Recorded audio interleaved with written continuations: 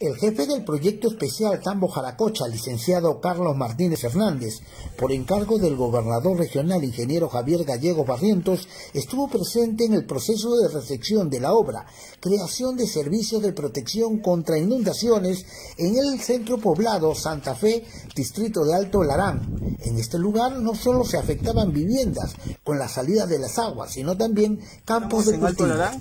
en la provincia de Chincha, en el sector Santa Fe. Este es el, río Chico, en el cual se ha trabajado la margen izquierda, un enrocado, como pueden observar, de 1.650 metros lineales, ¿no? lo cual ya ha sido concluido y el día de hoy estamos eh, verificando ¿no? esta culminación con los ingenieros del PETAC, de la supervisión, de la empresa contratista y también de la Contraloría, como pueden observar, ¿no? Eh, en lo cual nosotros estamos tratando de hacer eh, muy transparentes todo el tema financiero como también este trabajo consta de la construcción de 1.650 metros lineales de defensas ribereñas en el margen izquierdo del río Chico, además de la descolmatación del cauce, lo que mejorará su capacidad conductiva a 490 metros cúbicos por segundo.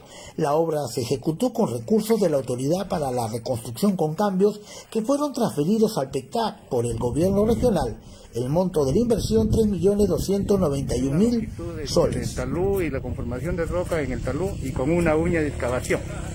La uña de excavación tiene una base de 2 metros en la parte superior y 3 metros 50 en la parte inferior, con una profundidad de 2 metros en la uña.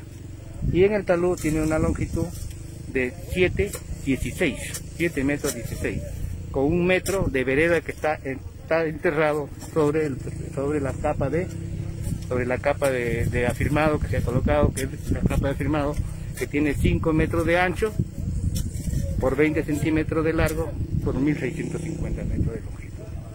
Esas son las labores que se han ejecutado a nivel y también se tiene la labor de descolmatación del río en una longitud de 96 metros lineales de ancho, de ancho ¿no? por 1650 metros Por otro lado, tal como sucedió en el río Matagente, en esta obra también se ha realizado la labor de seguimiento de manera simultánea y paralela del organismo de control interno de nuestra institución, que ha permitido identificar problemas en el trabajo cotidiano que fueron subsanados a tiempo, cumpliéndose con los plazos establecidos en la ejecución de la obra.